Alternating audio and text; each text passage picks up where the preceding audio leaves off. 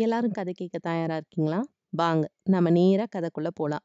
அத்தியாயம் மூன்று ஆந்தையின் குரல். போன அத்தியாயத்த நாம எப்படி நிறுத்தணும் நந்தினி மேல இருக்க மோகத்தால, "நீ என்ன சொன்னாலும் நான் செய்ய தயாரா இருக்கேன்" அப்படின்னு பார்த்திபேந்திரன் சொல்றான் அப்படிங்கிறதோட நிறுத்தணும் இல்லையா? இப்ப வாங்க, அதுக்கப்புறம் என்ன நடக்குது அப்படிங்கிறத பத்தி இந்த அத்தியாயத்துல நாம கதை கேட்டு தெரிஞ்சுக்குவோம். உங்களுக்கும் எனக்கும் சந்தோஷமான ஒரு காரியத்தை தான் நான் சொல்ல போறேன் அப்படின்னு சொல்றா. அத கேட்டதும் பார்த்திபேந்திரனுடைய மனசுல பலவிதமான எண்ணங்கள் தோன்ற ஆரம்பிச்சிருச்சு. ஆனா நந்தினி என்னமோ படகையும் கப்பலையுமே பார்த்துட்டு இருக்கா. படகுல இருந்து பழுவேட்டையர் கப்பல்ல ஏறுறதையே பார்த்துட்டு இருந்தாவ நல்ல வேலை பத்திரமா ஏறிட்டாரு. எவ்வளவு பெரிய வீரரா இருந்தாலும் வயசாயிடுச்சு இல்லையா? படகுல இருந்து கப்பல்ல ஏறும்போது தடுமாறாம இருக்கணும் அப்படின்னு தான் எனக்கு ரொம்ப கவலையா இருந்துச்சு அப்படின்னு சொல்றது கேட்டதும், இந்த கிழவர் மேல இவளுக்கு ஏன் இவ்வளவு பரிவு? படகுல இருந்து அவன் கடல்ல விழுந்து இறந்தாதான் என்ன? நாட்டுக்கு என்ன கஷ்டம்? இவளுக்கு விடுதலை தானே? எதுக்காக இவ்வளவு பரிவு காட்டுறா? அப்படின்னு யோசிக்கிறான். தொடர்ந்து அவளே, கிழவருக்கு சோழ குலத்து மேல இவ்வளவு பிரியம் இருக்குது அப்படிங்கிறது எனக்கு இன்னைக்குதான் தெரியும். இளவரசருக்கு ஆபத்து அப்படின்னதும் எப்படி துடிதுடிச்சு போயிட்டாரு? ஐயா, இளவரசர் தப்பி பிழைச்சிருக்க முடியும் இல்லையா? இறந்துதான் போயிருக்கணும் அப்படிங்கிறது நிச்சயம் இல்லையே. நிச்சயம் இல்ல. ஆனா அப்பேற்பட்ட சுழல் காற்றுல கடல்ல குதிச்சவரு, பிழைக்கிறது அப்படிங்கிறது ரொம்ப கஷ்டம். விதியோட போக்குக்கு நாம என்ன செய்ய முடியும்? இதுக்கு விதி காரணம் இல்ல. அந்த பழையறை ராட்சசியோட பேராசை தான் காரணம். உங்களுக்கு தெரியுமா ஐயா? குந்தவை தேவிக்கு ஜோதிடத்திலையும் ரேகை சாஸ்திரத்திலையும் அபார நம்பிக்கை. தம்பியோட ஜாதகத்தையும் கைரேகையும் பார்த்துக்கிட்டு, அவன் இந்த மூணு உலகத்தையும் ஆளும் சக்கரவர்த்தி அப்படின்னு நம்பிக்கை வச்சிட்டு இருக்கா. ஐயோ பாவம்! அந்த அருமை தம்பிக்கு இப்படி ஒரு கதி நடந்துருச்சுன்னு தெரிஞ்சா அவ எவ்ளோ கஷ்டப்படுவா? அச்சமயம் நான் தான் அவ பக்கத்துல இருந்து ஆறுதல் சொல்லணும் அப்படின்னு சொன்னதும், ராணி நீங்க எதுக்காக ஆறுதல் சொல்லணும்? அவளுடைய பேராசையால நடந்த விபரீதம் தானே இது. அதுக்காக அவ கஷ்டப்படட்டும். அது எப்படி ஐயா? அவ சக்கரவர்த்தியோட செல்வ புதல்வி. ஈடு இணையற்ற அழகி. நானும் ஒரு சமயம் அப்படிதான் நினைச்சேன். ஆனா உங்கள பார்க்கறதுக்கு முன்னாடி என்ன பார்த்ததுக்கு அப்புறம் என்ன நினைக்கிறீங்க? குந்தவை தேவியோட அழகு உங்க சுண்டு விரலோட அழகுக்கு இணையாகாது அப்படின்னு நினைக்கிறேன். இப்ப அப்படிதான் சொல்லுவீங்க. நாளைக்கு அவள பார்த்தா நான் ஒருத்தி இந்த உலகத்துல இருக்கிறேன் அப்படிங்கிறதையே மறந்துடுவீங்க. ஒரு நாளும் மாட்டேன் தேவி. என்ன சோதனை செஞ்சு பாருங்க. உங்களுடைய கட்டளை என்ன அப்படிங்கறத சொல்லுங்க அப்படின்னு சொன்னதும், கட்டளையிடுற பாக்கியம்லாம் எனக்கு கிடையாது. விண்ணப்பமா வைக்கிறேன். பெரிய பழுவேட்டையரை நான் கல்யாணம் பண்ணதுக்கு அப்புறம் சோழ நாட்டுல நிறைய பிளவும் குழப்பமும் ஏற்பட்டுட்டு இருக்குது அப்படின்னு நிறைய பேர் என் மேல பழி போடுறாங்க. அது பொய் அப்படின்னு நான் நிரூபிக்கணும். அதுக்கு எனக்கு உங்களுடைய உதவி வேணும் அப்படின்னு சொன்னதும், பார்த்திபேந்திரன் ஏமாற்றம் அடையறான். ஐயா, சோழ நாட்டுல அமைதி ஏற்படாம தடுத்துட்டு வர்றது இளைய பிராட்டி தான். ஆனா இனிமே சமரசம் செஞ்சு வைக்கிறது ரொம்ப சுலபம். சுந்தர சோழரும் மதுராந்தகருக்கு பட்டம் கட்ட ஒத்துக்கிட்டாரு. அப்படியா தேவி? ஆமா ஐயா. ராஜ்யத்தை சமமா ரெண்டா பிரிச்சிரலாம். ஒரு பகுதிய ஆதித்ய கரிகாலருக்கும், இன்னொரு பகுதிய மதுராந்தகருக்கும் கொடுத்துடலாமே அப்படின்னு சொன்னதும், தேவி இதையெல்லாம் பத்தி என்கிட்ட எதுக்கு சொல்றீங்க? யாரு எந்த ராஜ்யத்தை ஆண்டா எனக்கு என்ன ஆகப் போகுது? ஐயா, நீங்க ஆதித்ய கரிகாலர் மேல உண்மையான விசுவாசமுள்ள சிநேகிதர் அப்படின்னு நினைச்சேன். பிறருக்கு விசுவாசமாயிருந்து பிறருடைய புகழுக்காக போராடி இவ்வளவு நாளும் நான் கழிச்சிட்டேன். இனிமே எனக்காக நான் வாழ விரும்புறேன். ராணி இத கேளுங்க. இந்த சாம்ராஜ்யத்தை பத்தியெல்லாம் என்கிட்ட எதுவும் பேசாதீங்க. கடலுக்கு அப்பால் இருக்கக்கூடிய தீவில இருந்து விலை மதிக்க முடியாத பவளங்கள் ஏதாவது கொண்டு வரணுமா? சொல்லுங்க. நான் கொண்டு வரேன். ஆழ்கடல்ல போய் முத்துக்களை எடுத்துட்டு வரணுமா? சொல்லுங்க. அதையும் நான் கொண்டு வரேன். அப்படின்னு பார்த்திபேந்திரன் காதல் வசனம் பேச ஆரம்பிக்கிறான். அப்ப நந்தினி என்னை ஏற்கனவே குந்தவை பைத்தியம் அப்படின்னு சொல்லிட்டு இருக்கா. உண்மையாவே எனக்கு பைத்தியம் பிடிக்க வச்சிடாதீங்க அப்படின்னு சொன்னதும், பார்த்திபேந்திரன் வெக்கத்தோட பைத்தியம் பிடிச்சிருக்கிறது எனக்கு தான். மன்னிச்சிடுங்க. உங்களுடைய விருப்பம் என்ன அப்படிங்கறத நீங்க முதல்ல தெரிவிங்க. எனக்கு ஏற்பட்டிருக்கிற இந்த கெட்ட பெயரை போக்கணும் அப்படின்னு நான் விரும்புறேன். இந்த அவப்பெயரோட இறந்து போறதுக்கு எனக்கு விருப்பம் இல்ல. இறந்து போறத பத்தி நீங்க எதுக்கு பேசுறீங்க? பல்லவ குமாரா, உங்களுக்கு ரேகை சாஸ்திரம் தெரியுமா? ரேகை சாஸ்திரத்துல உங்களுக்கு நம்பிக்கை இருக்கா? அப்படின்னு கேட்க, எங்க உங்களுடைய கைய காட்டுங்க அப்படின்னு பார்த்திபேந்திரன் சொல்றான். நந்தினி அவளுடைய வலது கையை நீட்டுறா. கொஞ்ச நேரம் உத்து பார்த்துட்டு, ரொம்ப ஆச்சரியமான ரேகைகள். இந்த மாதிரி பார்க்கறது ரொம்ப அபூர்வம். எங்க? அந்த கையும் காட்டுங்க அப்படின்னு சொன்னதும் அவ இன்னொரு கையும் காட்டுறா தேவி இதுக்கு முன்னாடி உங்க கையில இருக்கக்கூடிய அதிசயமான ரேகைகளை பார்த்து யாராவது ஏதாவது சொல்லியிருக்காங்களா? அப்படின்னு கேட்க ஆமா பழையறை இளைய பிராட்டி ஒரு தடவை என் கைய பார்த்துட்டு சொன்னா. என்ன சொன்னா? நான் அற்ப ஆயுள்ல செத்துருவேன் அப்படின்னு சொன்னா. அது உண்மைதான். ஐயா நீங்களும் அப்படி சொல்றீங்க. இந்த கைரேகையில ஒரு அற்ப ஆயுள் குறிப்பது உண்மைதான். ஆனா இன்னொரு ரேகை அந்த கண்டத்தை கடந்து இன்னொரு ஜென்மம் ஏற்படும் அப்படின்னு சொல்லுது. இவ்வளவும் தற்செயலா கடற்கரையில பார்த்த ஒரு ஆண்மகனால நடக்க போகுது அப்படின்னு சொல்லிட்டு சட்டுன்னு நந்தினியோட கரங்களை பிடிச்சு அவனுடைய கண்ணங்கள்ல ஒத்திக்கிறான். உடனே நந்தினி அவனுடைய கைகளை உதறிவிட்டு ச்சீ இது என்ன காரியம் செய்றீங்க? அப்படின்னு சொன்னதும் மன்னிச்சிடுங்க இது உங்களுடைய கரங்கள் அப்படிங்கறதே நான் மறந்துட்டேன் அப்படின்னு சொன்னதும் பழுவேட்டையர் மட்டும் பார்த்திருந்தா உங்களை ஈட்டியாலே குத்தி இருப்பாரு தேவி உங்களுக்கு கொடுக்கறதுக்கு அப்படின்னு என்கிட்ட உயிர் ஒண்ணுதான் இருக்குது. அந்த உயிரை இப்படிதான் கொடுப்பீங்களா?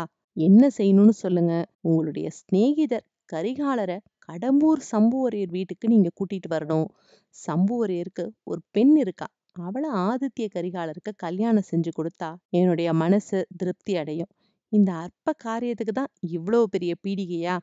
ஆதித்ய கரிகாலரை கண்டிப்பா நான் கடம்பூருக்கு கூட்டிட்டு வந்து சேர்த்துறேன். அப்புறம் ஆதித்ய கரிகாலருக்கு சம்புவரையர் மகளை கல்யாணம் செஞ்சு கொடுத்துட்டா கழகத்துல பாதி தீந்து போயிடும். சோழ சாம்ராஜ்யத்துல மதுராந்தகருக்கு ஒரு பகுதியும் கரிகாலருக்கு இன்னொரு பகுதியும் கொடுத்துட்டா கழகம் முழுசா தீந்து போயிடும். அதுக்கப்புறம் எனக்கு ஏற்பட்டிருக்க கெட்ட பேர் நீங்கிடும். அதுக்கப்புறம் நடுக்கடல்ல விழுந்து என்னுடைய உயிரை விட்டுருவேன். நான் பின்னாடியே தொடர்ந்து வந்து உங்களை காப்பாத்திடுவேன் நம்ம ரெண்டு பேருமா சேர்ந்து புதுசா ஒரு வாழ்க்கையை ஆரம்பிப்போம். ஐயா இப்படியெல்லாம் பேசாதீங்க. தேவி என்கிட்ட உண்மையை சொல்லுங்க. இந்த கிழவரை நீங்க எதுக்காக கல்யாணம் பண்ணிக்கிட்டீங்க? இவர் மேல உங்களுக்கு காதலா என்ன? அப்படி இல்லைன்னா அவர் உங்களை பலவந்தமா கல்யாணம் செஞ்சுக்கிட்டாரா? பாவம் கிழவர் மேல எதுக்கு பழி போடுறீங்க? நான் தான் இஷ்டப்பட்டு இவரை கல்யாணம் பண்ணிக்கிட்டேன். ஏன்? எதுக்காக?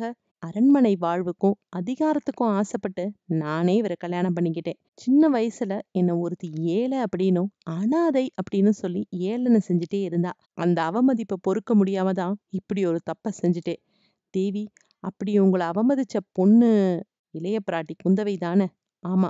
இப்படி அவங்க பேசிட்டு இருக்கிறப்பயே பழுவேட்டையர் திரும்பி வந்துடுறாரு.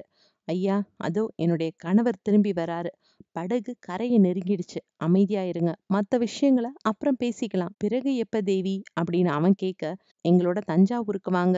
விருந்தாளியா வர அழைப்பு கிடைக்கல அப்படின்னா சிறைப்படுறதுக்கு வாங்க அப்படின்னு சொல்றா. பழுவேட்டையர் படகுல இருந்து கரைக்கு வராரு. கிழவர் படகுல இருந்து இறங்கி ஆங்காரமே உருவாவர் வராரு. நந்தினியும் பார்த்திமேந்திரனும் பேசிட்டு இருக்கதை அவர் பார்த்துக்கிட்டே வந்தனால அவ்வளவு கோபம் அவருக்கு. அவர் வந்ததும் நாதா கப்பலை நல்லா சோதிச்சீங்களா? அங்க இருக்கவங்க எல்லாரையும் விசாரிச்சீங்களா? ஆமா ராணி இவன் சொன்னதெல்லாம் உண்மைதான். அதுக்கு காரணமானவன் இதோ நிக்கும் இந்த கொலைகார சண்டால பாவிதான் அப்படின்னு சொல்றாரு. ஐயா அதுக்கு காரணம் நான் இல்ல என் மேல பழி போடாதீங்க. இளவரசரை கடல் கொண்டதுக்கு காரணம் சோழ நாட்டையே ஆட்டுவிக்கும் பெண் உருவம் கொண்ட மோகினி பிசாசு அப்படின்னு பார்த்திபேந்திரன் சொல்ல கிழவரோட கோபம் இப்ப இன்னும் அதிகமாயிடுச்சு. நந்தினிய பத்தி தான் அவன் சொல்றான் அப்படின்னு நினைச்சுக்கிட்டு அட பாவி என்ன சொன்ன? அப்படின்னு சொல்லிட்டு தரையில இருக்கக்கூடிய ஒரு ஈட்டிய குனிஞ்சு எடுக்கிறாரு. பார்த்திபேந்திரனை குறி வச்சு ஓங்க போறாரு. அப்ப நந்தினி அவருடைய கைய பிடிச்சு தடுத்துட்டு நாதா இது என்ன காரியம்? ராணி கொஞ்ச நேரத்துக்கு முன்னாடி உன்னை பத்தி இவன் சொன்னதை நீ கேட்கலையா அப்படின்னு கோபத்துல அவர் சொல்றாரு. அதுக்கு உடனே நந்தினி அவர் என்ன பத்தி சொன்னாரா? நல்லா கேட்டு தெரிஞ்சுக்கோங்க. அப்படின்னா என் கையில இருக்க கத்தியாலே நான் அவனை கொன்னுடுவேன். ஐயா நான் என்ன பைத்தியமா? பழுவூர் இளையராணிய பத்தி நான் அப்படி சொல்றதுக்கு பழையறையில இருக்க மோகினி பிசாச பத்தியில நான் சொன்னேன். இளைய பிராட்டி குந்தவை வந்தியத்தேவன் அப்படிங்கிற வாலிபன் கிட்ட ரகசியமா ஓலையை கொடுத்து அனுப்புனா. அந்த முரட்டு வாலிபனை காப்பாத்துறதுக்காக தான் இளவரசர் நான் எவ்வளவு சொல்லி கேட்காம கடல்ல குதிச்சாரு. அதனால இளவரசருடைய மரணத்துக்கு குந்தவை தான் காரணம் அப்படின்னு சொன்னேன். அப்படின்னு சொன்னதோ பழுவேட்டையர் தன்னுடைய அவசர புத்தியை நினைச்சு வெக்கப்படுறாரு. அத வெளிய காட்டிக்காம சும்மா மூடி மறைக்க பார்க்காத இளவரசருடைய மரணத்துக்கு நீயும் பொறுப்பாளிதான். அப்படிப்பட்ட சுழல் காத்து அடிச்ச சமயத்துல அவரை எப்படி என் கப்பல்ல இருந்து இறங்க விடலாம்? தொலைஞ்சு போ என் கண்ணு முன்னாடியே நிக்காத அப்படின்னு சொல்ல நந்தினி உடனே நாதா இவரையும் தஞ்சாவூர் கூட்டிட்டு போலாம். நடந்தது என்ன? அப்படிங்கறத பத்தி சக்கரவர்த்தி கிட்ட இவரு சொல்லுவார் இல்லையா? இல்லைன்னா நம்ம மேலதான் எல்லாரும் குற்றம் சொல்லுவாங்க நம்ம தான் இளவரசரை கடல்ல மூழ்கடிச்சிட்டோம் அப்படின்னு கூசாம பழி சொல்லுவாங்க. சொன்னா சொல்லட்டும். அதுக்கெல்லாம் நான் பயப்பட மாட்டேன். சொல்றவனுடைய நாக்க அப்படியே துண்டிச்சிடுவேன். ஆனா இவனை நம்மளோட கூட்டிட்டு போறதும் ஒரு விதத்த நல்லது தான் பார்த்திபேந்திரா என்ன? அங்க இங்கேயும் பார்த்துட்ருக்க தப்பி ஓடலான்னு பாக்குறியா அப்படின்னு சொல்லிட்டு கொஞ்ச தூரத்துல இருக்க வீரர்களை கைத்தட்டி கூப்பிடுறாரு.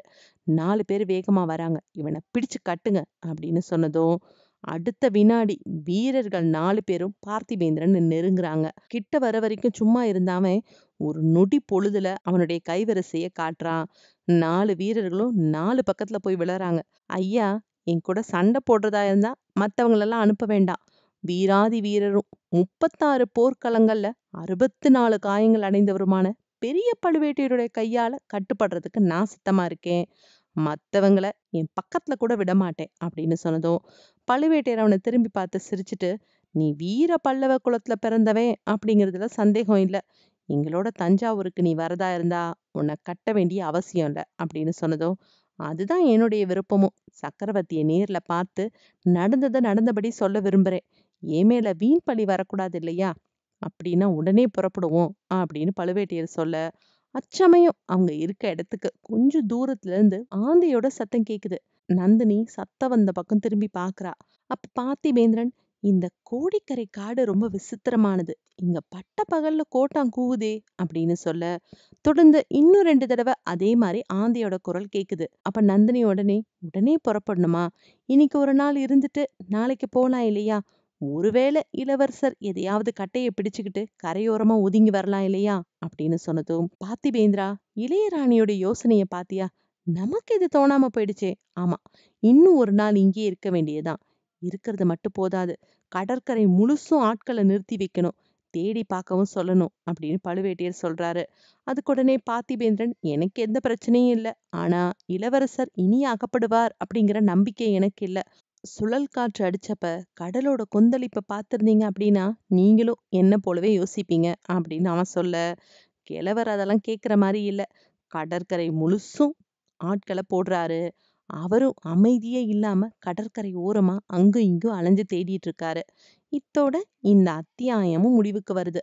அடுத்த அத்தியாயத்துல படகுல ஏறின நம்ம அருள்மொழிவர்மர் வந்தியத்தேவன் பூங்குழலி இவங்க மூணு பேர் என்ன செய்யறாங்க அப்படிங்கிறத நாம கதை கேட்டு தெரிஞ்சுக்குவோம். நான் கதை சொல்ற விதம் உங்களுக்கு பிடிச்சிருந்தது அப்படின்னா என்னோட வீடியோவை லைக் பண்ணுங்க ஷேர் பண்ணுங்க சப்ஸ்கிரைப் பண்ணுங்க. நன்றி வணக்கம்.